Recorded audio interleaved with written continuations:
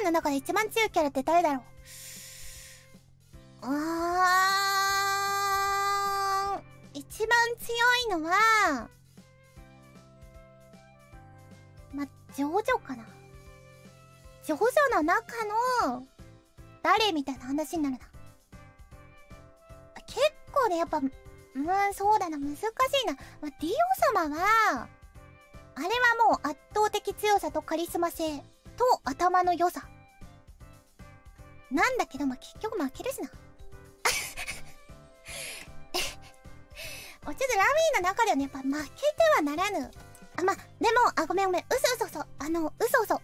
負ける中にもやっぱこう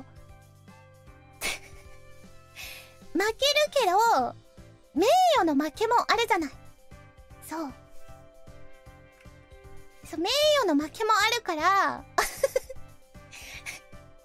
それはいいの。それはラミーの中でいいの。そう。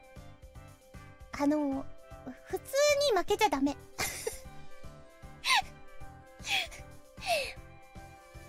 そうシーザーとかね。そシーちょっと待って何言ってんの？何言ってんの？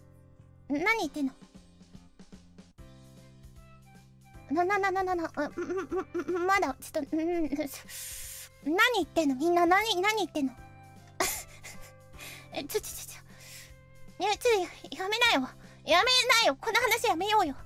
ふぅ、ふぅ、ふぅ、あ、危な、危な、危な、ふぅ。シーまで言ってた。シーザーは負けてないよな。負けてないよな。うん。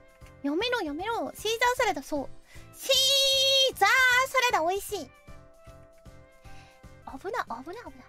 危ない、危ない。サラダ美味しい。そういうことよ。